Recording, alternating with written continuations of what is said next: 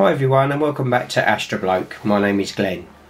Today is a follow-up video and I'm going to put a link at the top of the screen of a first video that I did in this series which is how to start astrophotography just using the camera on your phone. In that video I show an app that I use which helps with astrophotography with my phone.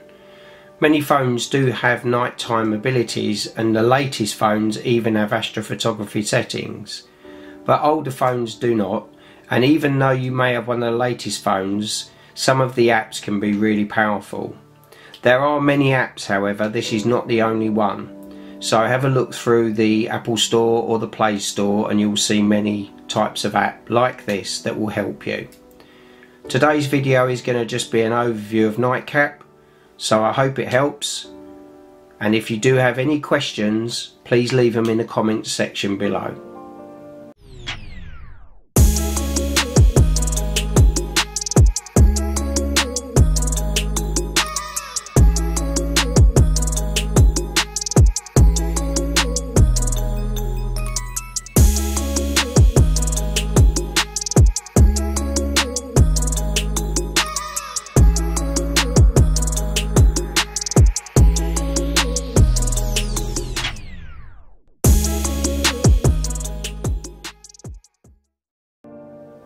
So I'm just going to open the Nightcap app and obviously it's just going to be a blank screen at the moment.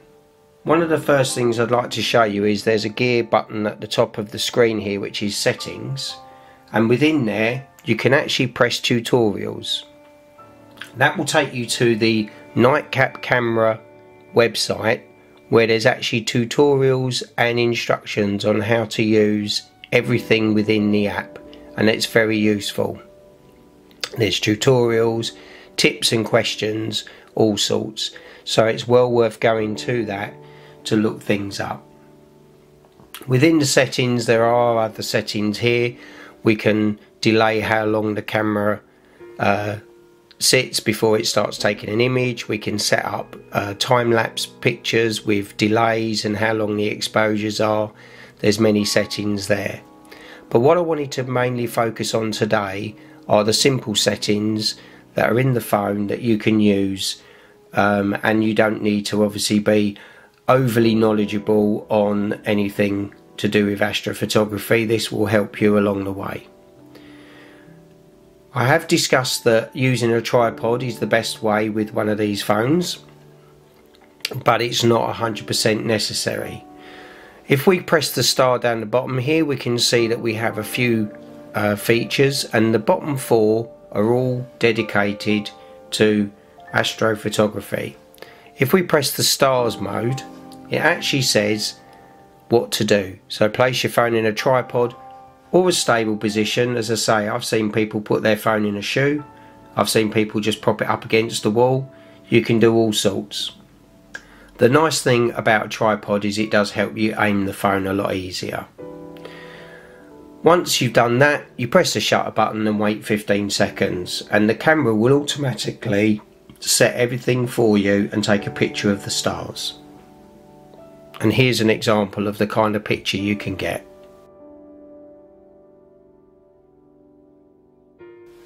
The next mode in here is called Star Trails mode. Now, as the Earth rotates, it actually gives the uh, illusion that the stars are moving across the sky they actually stay still, it's us that are turning. If you point the camera up into the sky and use this mode for at least 15 minutes, you'll actually get, pick up the movement of the stars. Pointing the phone or the camera towards the Polaris, which is the northern star, you'll get a nice circle of stars in the sky. You can see from my picture Unfortunately, I seem to have done it at a time where a lot of satellites and planes were passing by. So they've all photobombed my, uh, my attempt here to show you a star trail picture. One of the things I want to say is it's very important that you keep your phone as still as possible when doing any form of astrophotography. Long exposures are required to gather the light needed to get the stars so if the phone moves in any way, you'll blur your picture. We've also got a meteor mode here, which if you point the camera into the sky, and there are, um, if you go online, or there will be apps that will tell you whether there's a meteor shower due, you point the camera into the area and just press play. And that's this button here at the bottom. And what the camera will do is take a picture every five seconds. If it's got a meteor or shooting star in it, it will keep that picture if it hasn't, it will delete it. So you can let it run for an hour or two and then you can come back and see what you've got. I'm pretty sure you'll get a shooting star or two. Quite a good feature. Some people like to photograph the International Space Station, known as the ISS, and again, you can look up when this is due to pass over and what part of the sky it will be in. This is saying you start the pho photo process before the ISS due to pass. So you put it in the right area, press the start button and start it off. And then once the ISS has finished passing over, you can then press the shutter button again and it will stop. And that can give you a nice result. I've not taken any pictures with that or the meteor mode yet, but I'm sure they will give good results as the other two features I've used and they've been really good. So a couple of little things on the screen here. You've got a zoom feature.